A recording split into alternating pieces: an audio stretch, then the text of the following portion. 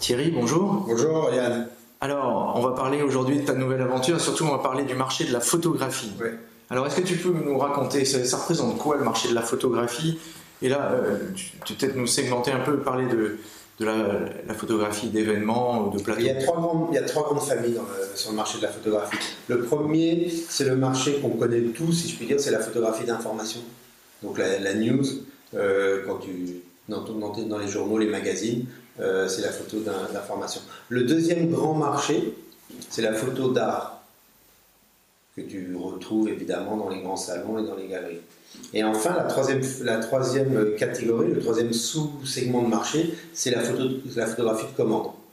C'est-à-dire des photographies qui sont euh, à usage commercial euh, pour, bah, pour des publicités, pour des, pour des événements, etc. Et j'ai même envie de dire, dans ce cadre-là, dans la photographie de commande, il y a un quatrième sous-marché où là, il n'y a pas de transfert de, où il y a transfert de droits d'auteur, ce qui n'est pas le cas dans les trois précédentes, qui sont les photographies euh, dites de mariage, de portrait, euh, ce qu'on appelle les artisans photographes, qui eux vont transférer leurs droits d'auteur, alors que les trois précédentes catégories, l'information, l'art et la commande publicitaire, il n'y a pas de transfert de, de droits d'auteur. Alors ce marché, il est considérable, il représente combien de milliards d'euros? Alors il est assez considérable, on parle de 400 000 photographes professionnels dans le monde, et en moyenne, on dit qu'un photographe euh, gagne par an entre 30, autour de 30 40 000 euros par an. Donc environ 12 milliards d'euros dans le monde. Donc environ 12 milliards d'euros dans le monde. Mais il faut savoir, et c'est important, c'est que pour chaque photographe, pour chaque shoot, il y a en moyenne entre 3 et 5 personnes qui vont travailler autour, que ce soit les mannequins, que ce soit les, les assistants, que ce soit les responsables de plateau, les responsables lumière, et donc tu te rends compte que l'écosystème de la photo, c'est 12 milliards, mais tu peux multiplier parfois par 2 euh, ou 3. Et alors, donc, dans cet écosystème, euh, Paris joue un rôle important Paris joue un rôle très important parce que c'est en 1840 qu'a été créée la photographie à Paris par Nipt puis Daguerre. Et puis surtout, il y a plusieurs éléments qui confèrent à Paris et à la France un rôle particulier. Le premier, c'est le droit d'auteur. Euh, que le photographe est un auteur, alors qu'aux États-Unis, dans le droit anglo-saxon, on parle du copyright, et à ce moment-là, c'est l'éditeur ou l'acheteur qui en est propriétaire euh, des droits. Et puis ensuite, il faut savoir que les grandes, euh, en matière d'information, les grandes agences d'information ont toutes été créées pratiquement à Paris après la Deuxième Guerre mondiale. Qu'en matière de commande, les, grandes, les, grands, les grands prescripteurs de, de, photographie de qualité, notamment dans la mode et dans le luxe, ont été à Paris dès la fin du 19e et du début 20e siècle. Et enfin, dans le monde de l'art, pour la photo d'art. Paris a été dès, les années 60-70 une place reconnue. Paris aujourd'hui contre euh, la Maison européenne de la photographie, le, jeu de paume, contre des centres d'art très importants. Alors ce marché, il est en pleine reconfiguration une rupture technologique qui s'est opérée. Alors, comment les acteurs traditionnels ont-ils euh, géré cette euh, rupture technologique? Alors justement, ce qui est important de comprendre, c'est que l'Internet a évidemment, comme sur beaucoup d'autres marchés, constitué un formidable euh, appel d'air. Et tous les photographes, à pas compter, si je puis dire, ils sont, sont en train d'y venir, bien que ce ne soit pas toujours très facile. Euh, pour s'adapter à, ce nouveau réseau de distribution. Mais c'est vrai que pour ceux qui savent s'y adapter, c'est une, opportunité extraordinaire qui aujourd'hui est accélérée avec une nouvelle demande qui vient de l'utilisation de mobilité, les smartphones et les tablettes. Et alors cette rupture technologique, elle a consisté en premier lieu à faire baisser ce marché et puis Aujourd'hui, il y a un nouveau regain dans une nouvelle direction. Exactement. Donc, on est typiquement dans une démarche schumpeterienne, si je puis dire, de destruction créatrice. Au début, Internet a fait baisser les prix très clairement de la photographie. Et aujourd'hui, euh, Internet permet de reconstituer un véritable marché avec des prix beaucoup plus clairs et des meilleurs euh, canaux de distribution. Alors donc euh, les nouveaux, justement les, les, nouvelles voies de développement, c'est le e-commerce, les nouveaux médias. Est-ce que tu peux développer un peu?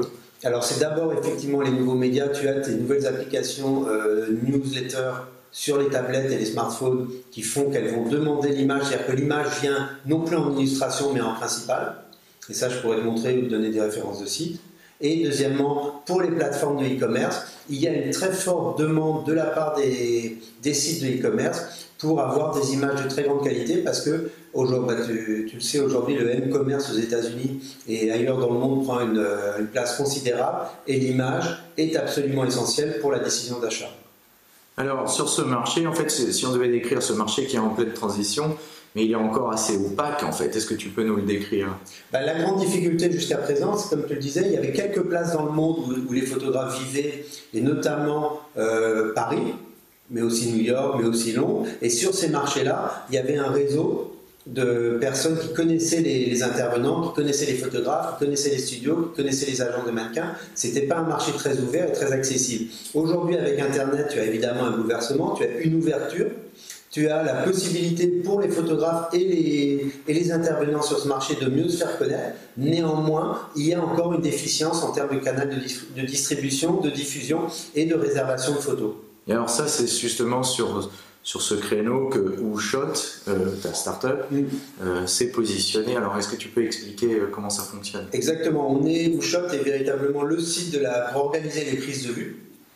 Donc, pour réserver des photos, pour sélectionner des photographes, pour organiser avec les photographes à travers des moodboards, c'est-à-dire qu'on a une plateforme qu'on a développée de discussion visuelle où avec ton photographe tu vas préparer ton shoot et une fois que tu t'es décidé sur le shoot à venir, le réserver, le payer et ensuite, une fois que la photographie est faite, le photographe retourne la photographie en haute définition via le shot qui, livre, le, qui livre le client et à ce moment-là déclenche le paiement au photographe.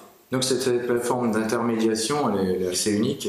Pour le moment, et j'ai dire du bois, pour le moment elle est unique, d'après tout ce qu'on peut voir effectivement dans le marché, parce que c'est vrai que c'était un marché qui était peu connu et qu'il fallait en venir. La fondatrice a 15 ans de métier comme agent de photographe dans la photographie à Londres euh, puis à Paris. Et c'est vrai que c'était un marché juste à présent d'initier, mais qui a besoin euh, de s'ouvrir parce que les photographes vont être les premiers à, pouvoir en retirer les bénéfices. Alors si on peut parler un peu chiffres, ça représente quoi Woodshot aujourd'hui?